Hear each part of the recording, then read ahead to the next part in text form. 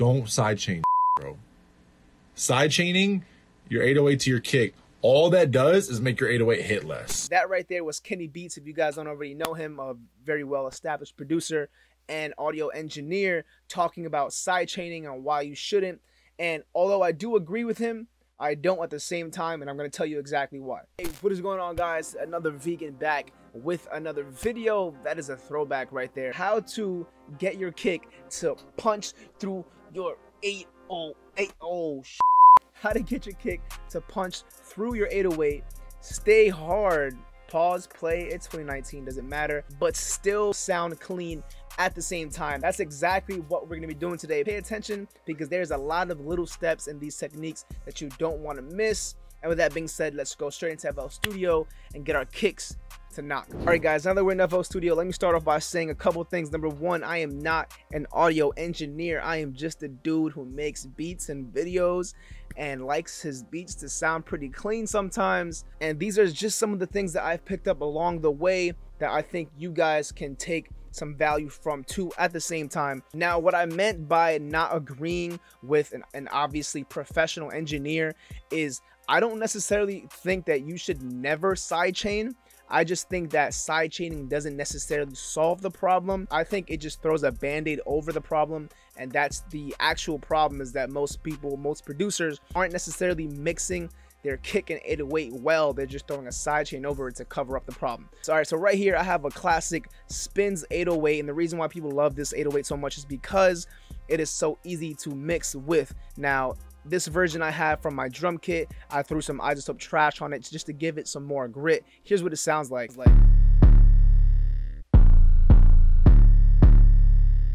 So as you guys can hear, that 808 already has a little bit of a kick in it, but I want more knock. So what do you do? You go and copy and you press paste to add a kick. Now, the kick sounds fine, but we can get that kick to sound way cleaner. And here's the first thing that I usually do. Now, another disclaimer, not every kick and 808 relationship is going to be the same. One method that I like to do is adding just a little bit of delay in front of the 808 giving the kick just enough time to come in right before the 808 comes in. So let me show you exactly what I mean. Usually what I'll do is I'll go into the little envelope window right here and I'll turn all these knobs all the way down except for the hold. And now we have more control over the sample itself. So just to make sure that 808 plays throughout, I'm going to go ahead and press Control L. And now it's playing all the way through. So what I like to do is usually, let me go ahead and mute this kick. I like to add just a small amount of delay and or attack. I usually play with these settings just to get it right, just to give the kick some space. If we go ahead and turn the attack up and turn the delay back down, maybe play with the tension a little bit.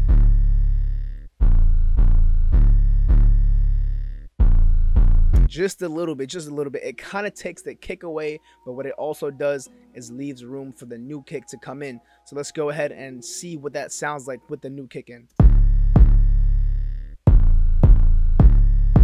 Now, as you guys can see, the kick is cutting through a lot cleaner. That is going to lead us into our second tip, which is sidechaining. Now, I do believe that sidechaining can be a powerful mixing tool when it's followed by proper EQing. So to sidechain, all we got to do is make sure that the kick is highlighted, right click the 808 sidechain to this track, add a limiter, change to compression, right click the sidechain option down here, click, click the kick, put the ratio and knee all the way up. And what I like to do usually is just squash down that initial transient. Not too much because I find once you start to put it down here, the 808 just doesn't have enough power that it usually does. So just a little bit goes a long way.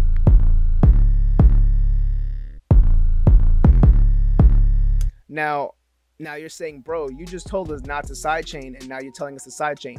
Yes and no at the same time. You can sidechain if the other problem areas are also fixed. That is going to lead us into our third tip, which is carving out some space in the 808 so that the kick can have even more room to come through. So what do you mean by that? Let's go ahead and open up a parametric EQ. And this is something I talk about in the lives a lot because I noticed that the 808 and kick relationship is the hardest to get right. So let's go ahead and open up a parametric EQ on this kick and let's see where the bulk of the energy is coming from. It seems as though it's coming around 62 hertz or 60 hertz. So what I'm to do is I'm to open up a parametric EQ on the 808. I already did that. And we're to go ahead and add a dip around 60 hertz. Not, not a crazy dip, nothing too crazy, just a little bit. Just to give the kick more room to live. Last step I want to talk about, and before I end this, I'm going to give you guys another example because not every kick and 808 relationship is the same. You're going to find new problems with different 808 samples because at the end of the day, they're different sounds and not every sound has the same problem when you're trying to mix it with another one. All right, guys, so the last tip I want to talk about is actually combining the EQ technique where you carve out some space and also adding a sidechain at the same time. This plugin is called F6 Mono from Waves. I love this plugin when I'm mixing 808s and kicks. So this is pretty much both of what we just did in one plugin. We can go ahead and get a nice little preset and kind of change this to where we want it. Add this dip around 60 hertz and take this dip out. Now what this is going to do, it's only going to dip down that frequency when the initial sample is played. It's pretty much doing the same thing that we just did both in one plugin. Now, you're probably thinking, bro, I don't have wave plugins. What are you what are you talking about? I can't use that. How am I supposed to do this? Luckily, there is a way to do this without paid plugins, and I'm going to show you right now. So let's go ahead and just delete this. Now, shout out to Lifestyle did it because he's the first person that I learned this trick from. In order for us to get that carving EQ and the little side chaining effect at the same time, what we have to do is open up a Fruity Peak controller on the kick, and that's pretty much it.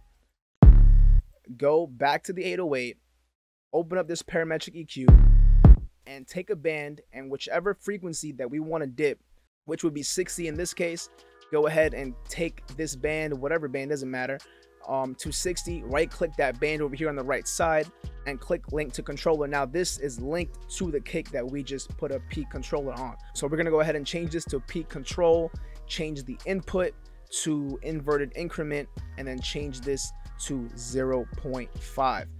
Now, all we have to do is press accept and when we go ahead and play this, every time the kick hits at 60 hertz, there's going to be a dip.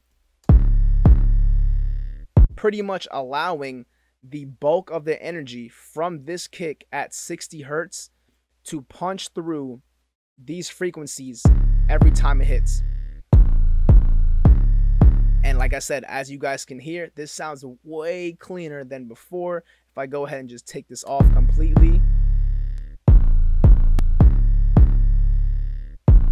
that kick is cutting through the 808 almost completely. Pretty much that is what I would do for this situation. Now, every situation is different. I'm going to go ahead and add a different 808 and show you that it's not the same. So let's go ahead and listen to the naked relationship between this 808 right here and this kick. And as you guys can see, it doesn't really sound the cleanest there's like this little delay between the initial 808 and the kick. So for 808s like this, first thing I usually try is taking this uh, sample start knob and just moving it up a little bit just to take away some of that initial delay. Because if you guys hear, there's also some sort of a kick in front of this. So let's go ahead and take out some of those frequencies. And right around here is where I would stop. So let's go ahead and, and listen to that kick and 808 relationship now. Now you guys can hear the initial impact of the kick and the 808 is happening at the same time. So we've kind of dealt with the delay issue. So let's go ahead and try the first method. Now that we have the issue out the way, let's go ahead and hold everything, decay, sustain, release all the way down, and try the little delay trick. And that sounds completely a hundred times better. Let's go ahead and go back to the original play the new version with a little bit of delay in there. It's it's almost a night and day difference just with that little trick. And now we even have more space to kind of move this 808 up. All right, so that worked really well. Let's go ahead and try to clean this up a little more. I'm going to go ahead and add another parametric EQ. Matter of fact, let's just go ahead and skip the entire 60 hertz cut and go straight for the peak controller. So we can go ahead and add a parametric EQ, drag this out to 60, which is already there. Right click again, link to controller, change this to inverted increment 0.5 and then change this to a peak.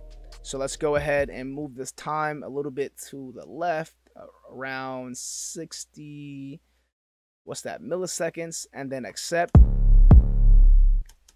And I do not necessarily like the way this sounds, so let's go ahead and tighten this up. That sounds a lot better.